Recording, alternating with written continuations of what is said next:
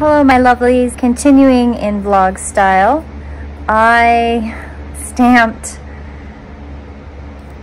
five yards of fabric this morning and I am currently sewing tape around synthetic whalebone strips that go in bodices.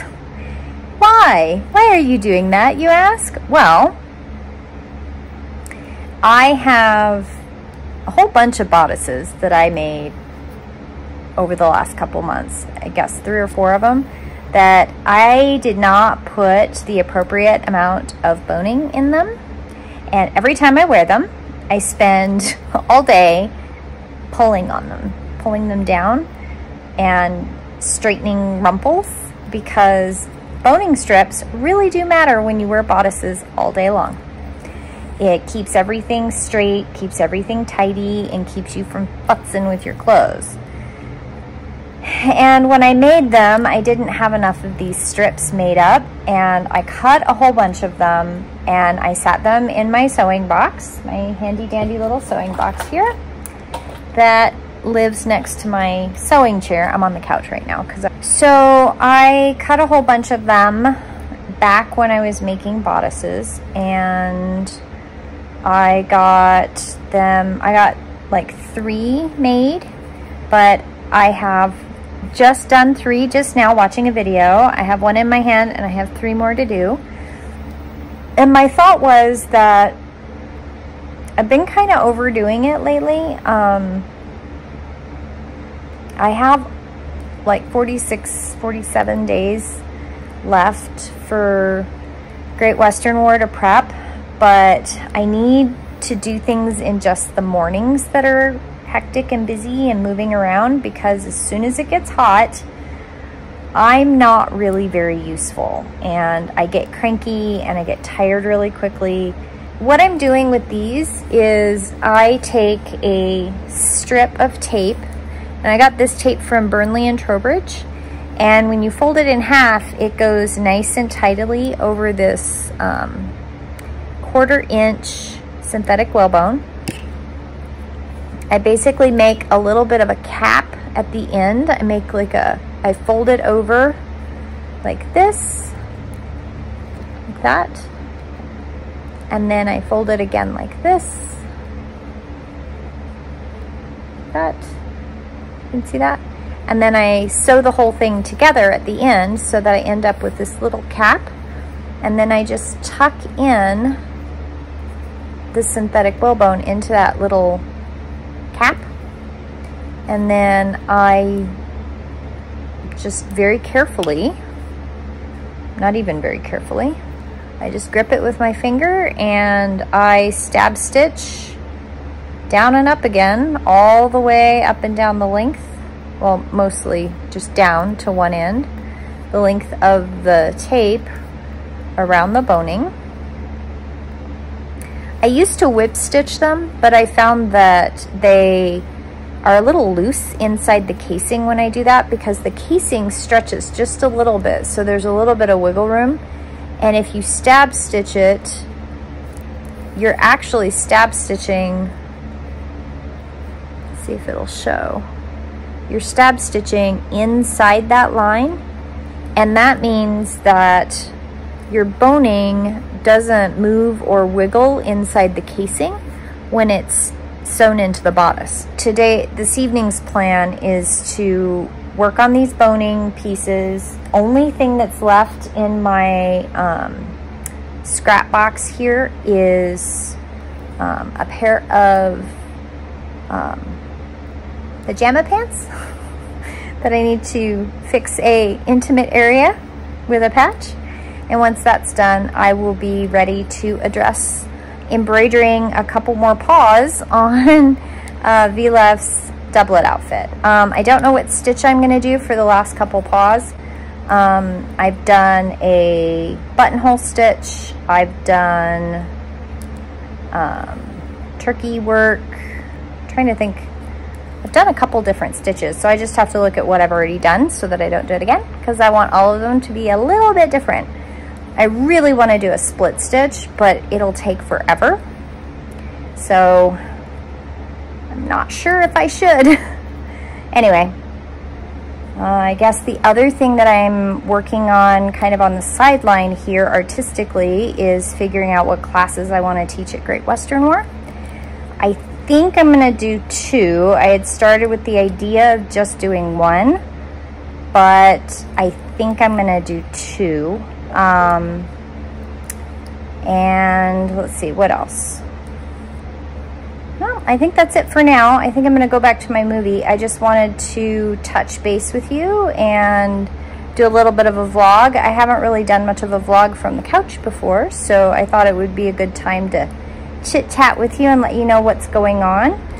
Um, oh, one other thing is I am tentatively um, working on getting Patreon back up and running. Well, it's never been down, but it's never, it's, I've been terrible at maintaining it. So there's not a lot of stuff on there. So I am working on putting stuff up on Patreon and specifically stuff that is much more maker specific if people wanted to submit for tiers that make a little bit more sense. Things that, you know, you might actually want to see. Anyway, well, you have a beautiful day and see you next time I vlog.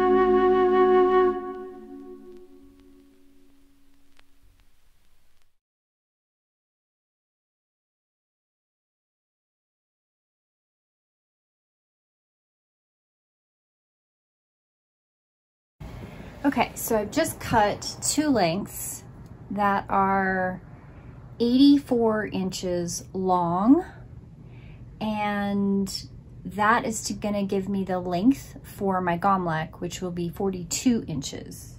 Sorry, yeah, 42 inches long. And this fabric is wide enough that, and I'll show you later after I wash it, um, what that looks like when I cut it out. But in the meantime, I'm taking these two lengths and I'm gonna throw them in the wash and I'm gonna make sure that all the sizing is out and they are shrunk to the proper, um, as much as they're gonna shrink. And then I'll be back.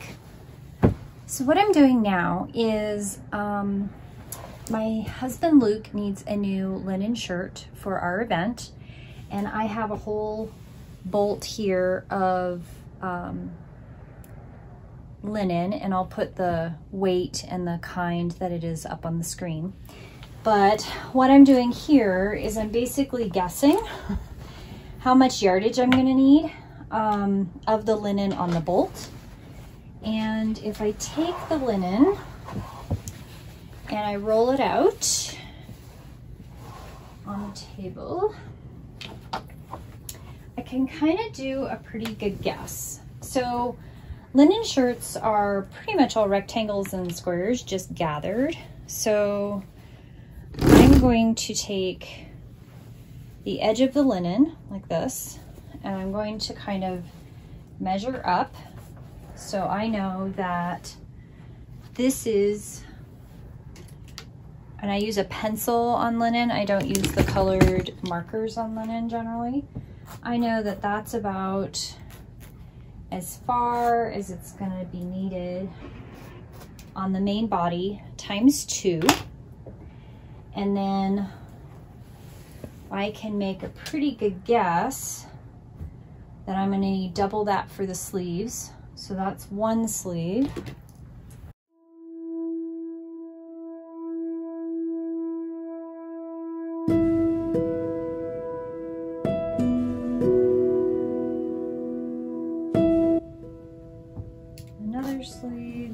Quite another sleeve. So I need to cut double plus a bit to give me the amount of fabric that I'm gonna need.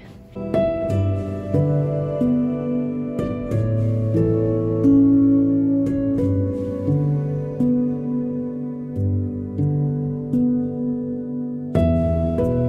little bit more than one yard. So to give myself enough room for sleeves, I'm gonna cut 88 inches.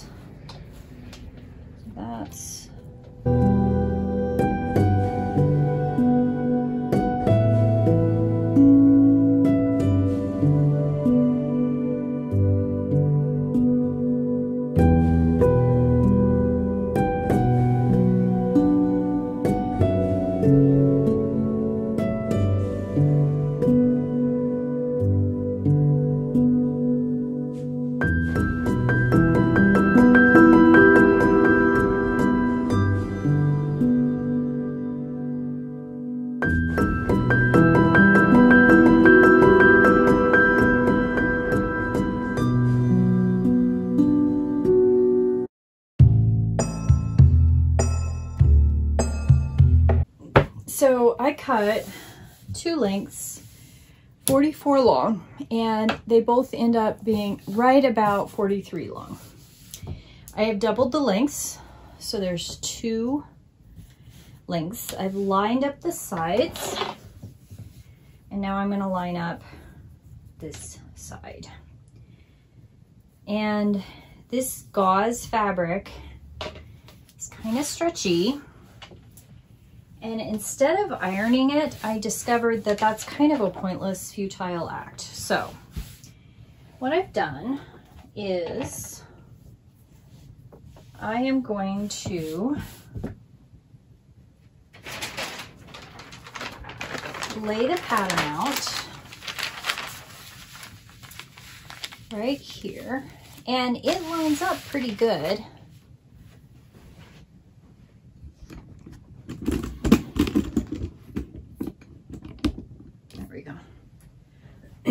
It actually lines up pretty good here.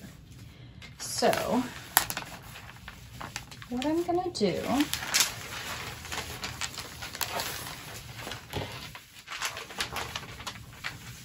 is do that. And then I'm going to use my orange Frixion pen and I am drawing the armhole and the gore because they are integrated. And I'm gonna start the angle. And if you see right here, the angle goes off the paper. So what I'm gonna do is I am going to use my yardstick and I'm going to take that little mark from where the angle starts. And I'm going to change the angle just a smidge to accommodate the width of the fabric I'm actually using. Okay, so that's gonna give me the angle. Now, the other thing that's going on here is I've got a sleeve. So this sleeve fits just about right inside this armhole, okay? Now I know that I can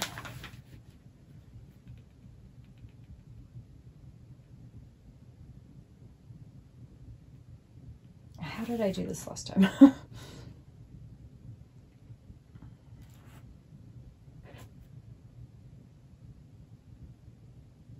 think I used a whole nother section of fabric is what I did.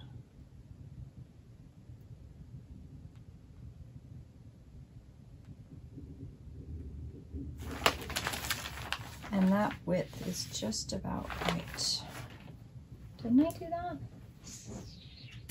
Now I'm concerned as to what I did. I know I don't want to waste this fabric.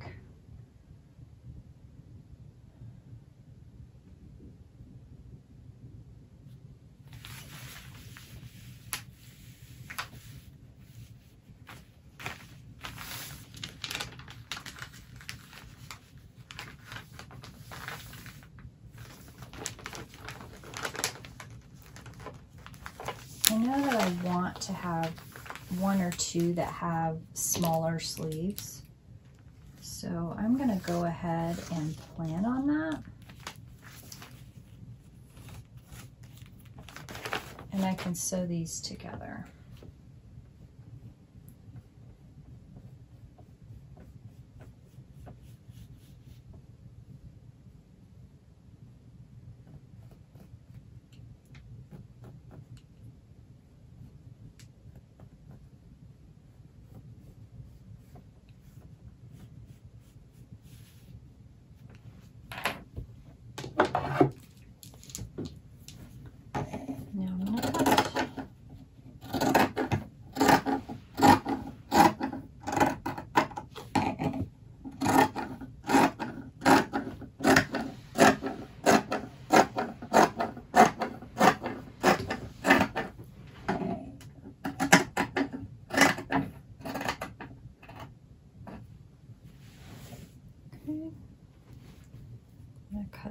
These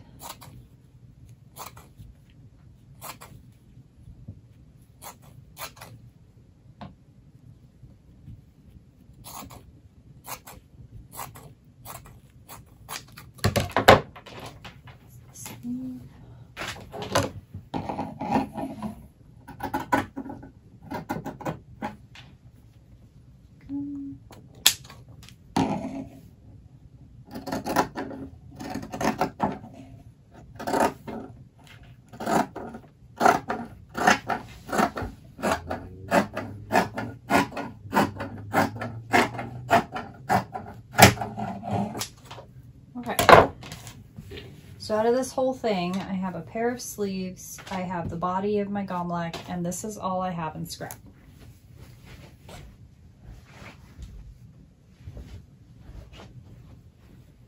Now, the next thing I'm going to do is the neckline.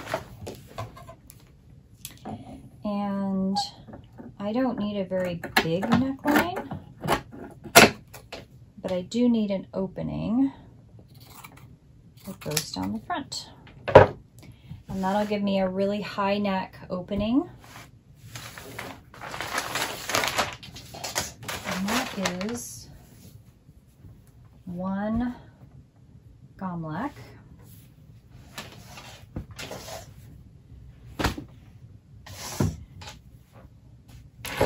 So the pattern of the gomlek is, or the one that I'm using, is one that I created. Um, I measured from neck to waist, and I've given myself a waistline. This is the built-in gore. Um, you can create a gomlek where your triangles are a separate piece and you add those in. There are no front triangles in a gomlek. They're just sides, as far as I've been able to find.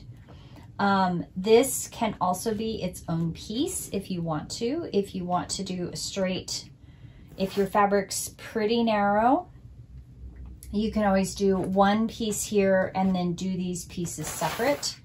My sleeve is a, um, I fixed the pattern on the first. um, I did at one point use an underarm gusset, but when I did the fit for this gusset, gusset if you see, um, this is basically two inches and that's half of the four needed and that is two by three uh, which basically works out to be two by six. And that worked out really well when you look at one, two, three, four, one, two, three, four. You know, um, the, the four by four works, but to keep the traditional Ottoman gomlek shape, it needed to be a little bit different. Now, there are some gomlek patterns out there that you will see that they put the hip bump and they don't do the straight angle. Um, you can do that. I just found that I like this fit better. It fits me, it fits more of what I'm looking for. So I am, um, I have a 32 bust and this is one, two, three, four, five, six, seven, eight, nine, nine times two, not, sorry, nine times two is 18, 18 plus 18 is 36. So I'm 32 around at the bust and this is 36 because if you take this measurement right here before the gussets and you multiply that times four, you get 36. And that's exactly right. And then you add two more inches on the edge, which is actually four, which will equal 40 all the way around. That'll give me plenty of room for movement, but also it won't be a sack. Um, 1, 2, 3, 4, 5, 6, 7, 8, 9, 10, 11, 12, 13, 14. So from the middle of the back of my neck to my waist is um, 15 inches, and that's how many inches are here.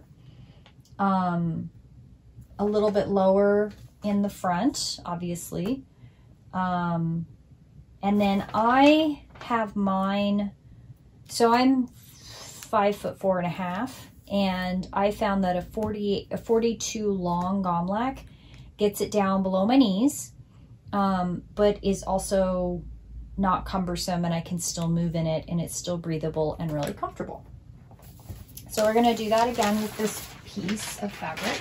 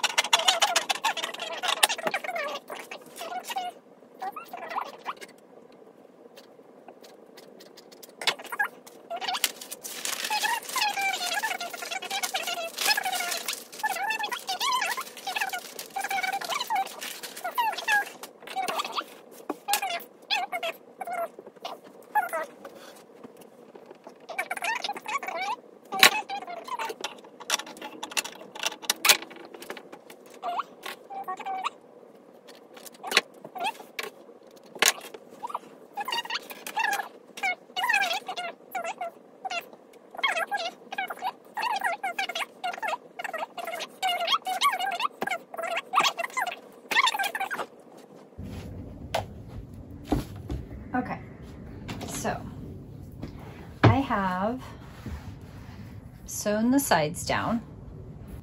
Here's your gomlek. It's the wrong side out.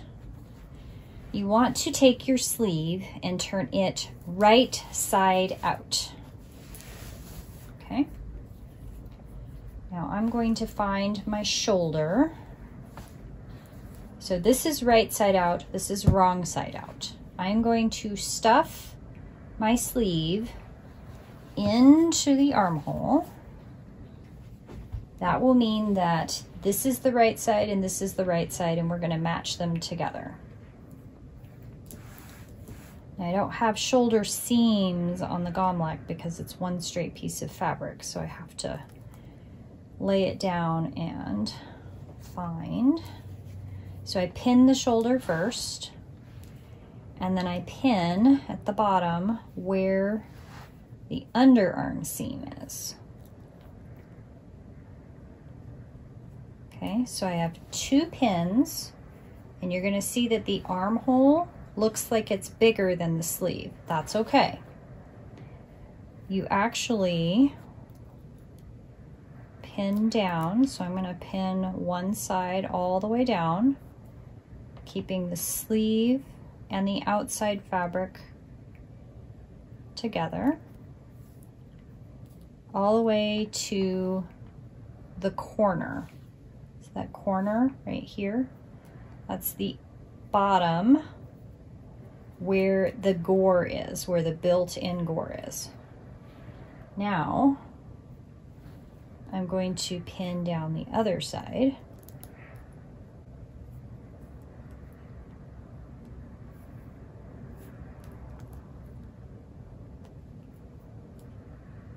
Pin all the way down.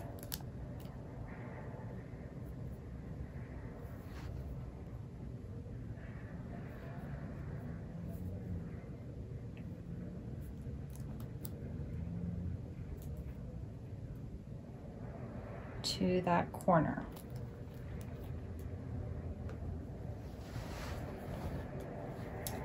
Now, this is where you take the gore fabric and you kind of pleat it in, kind of make it flat.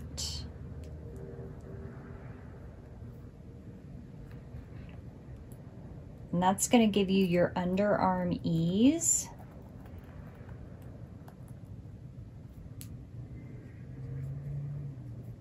Just like that.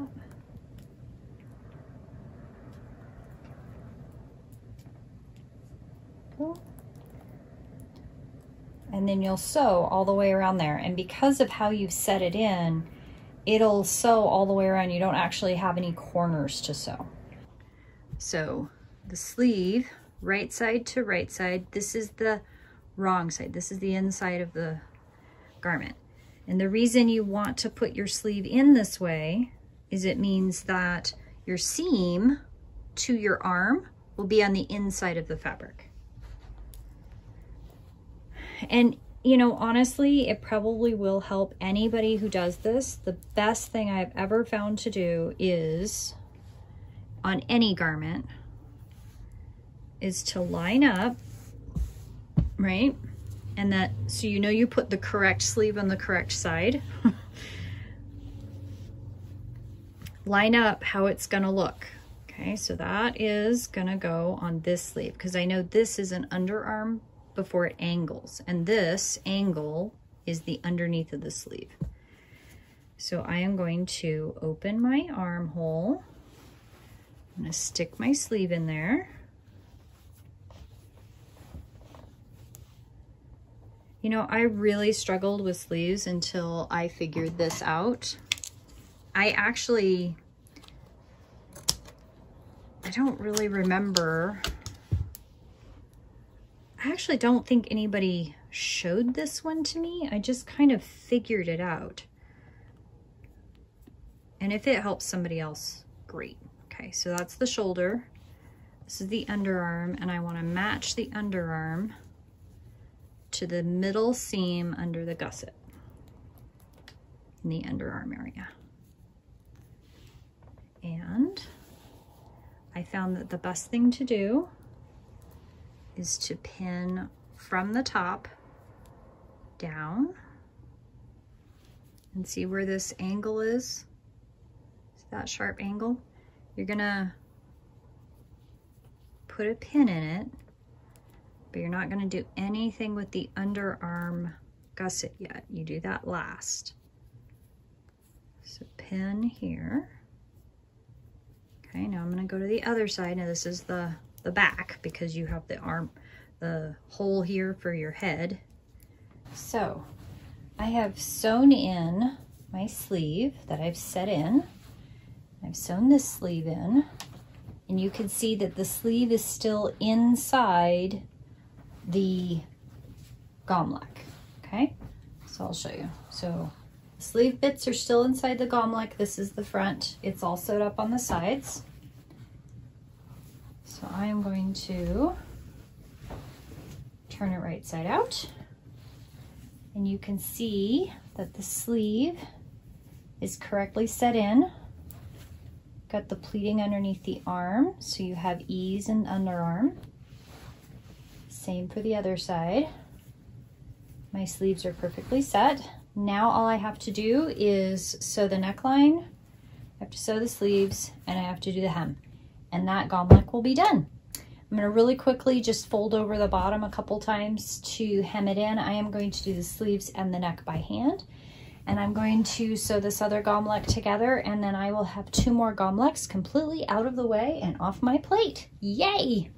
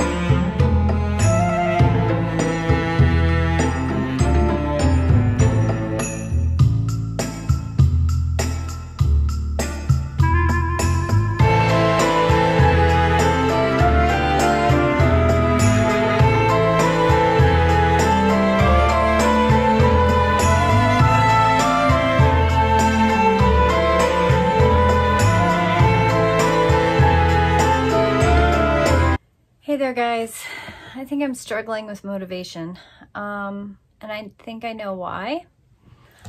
So I thought I'd figured out the pattern for the sleeveless zibin and so I, I made one, it fit, it was great.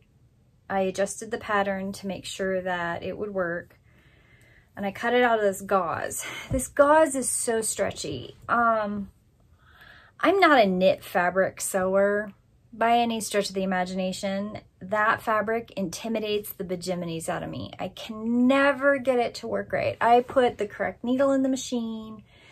I put my feed dogs correctly. I just can't get it to work. Um, so I've been treating all of the zibin that I have made so far, I just put sleeves on them because I was like, I, I just, I don't know what I'm doing wrong. Um, and I went ahead and I was leaving this one to kind of the last one. Um, and I put some stamped fabric for my facing. And I got it all done and I thought, oh, I'll just throw it on to make sure it fits. And it the armholes are like stretched to ridiculousness. So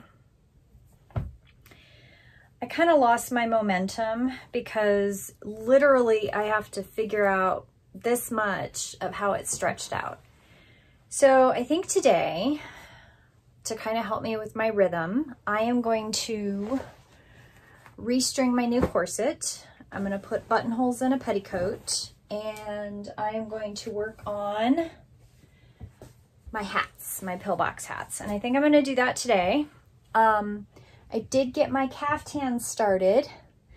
So I got that cut out and the sleeves cut out. Um, and all those zibin over there need buttons. So I think I'm going to work on piddly stuff today because I'm having major issues with the sleeveless zibin and I have two. I have one that's still downstairs on my thing that I'm um, putting in all of the facing. So I'll leave you with that.